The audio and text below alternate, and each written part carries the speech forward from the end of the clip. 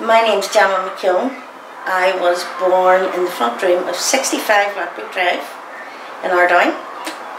I lived there for 17, 18 years and then moved to Cork for 9 years. And in Cork I had two beautiful sons.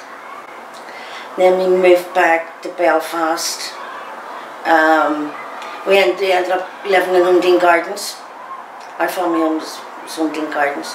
Um, now I'm actually living in Glasdrumman. It's a little hamlet just outside Newcastle. It's absolutely beautiful.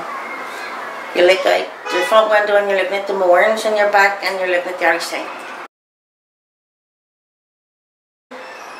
Well, there's good ones and bad ones. Um, I was seven when the conflict started. Of course, I grew up in that. Like, uh, that played a big part in my life. I seen a lot of things happening, as did everybody. I lost my daddy. Um, he was killed in July 72. Uh, it was hard after that. I just, I was left uh, Holy Cross and Glen St James, so that was a big transition period as well. Like life wasn't, it wasn't great. It was very mixed up. But then there was this brilliant sense of community. There was comradeship. There was you could have walked into anybody's house and got your dinner. People made sure that you were okay.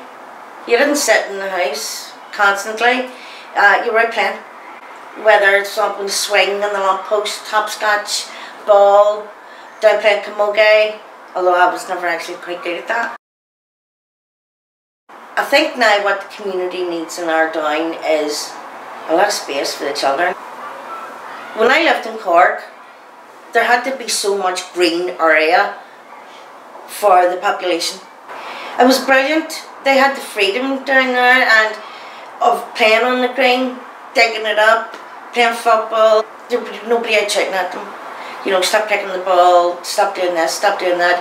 Because they had the freedom and they had the greenery and they had parks uh, that weren't vandalised. They need freedom. They need they actually need training for jobs as well. There's a lot of great kids coming out of Ardoyne now and the education is, is fantastic. You have to get the people together.